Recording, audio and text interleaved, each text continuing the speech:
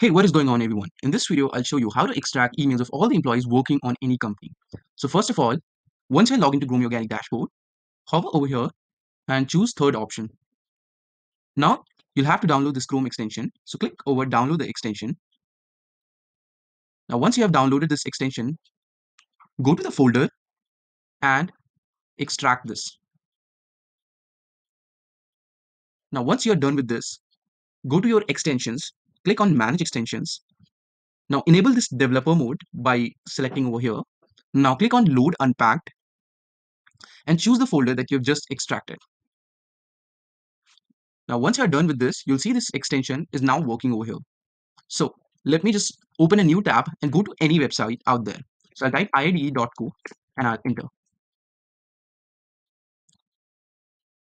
So now as you can see, when I hover over this button, it will get me all the employees working on IIDE.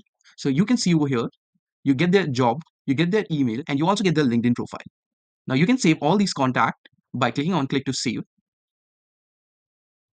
And once you've saved, you can go back to the my list and you can download all these contacts in form of CSV, Excel, and XLS. And that's it.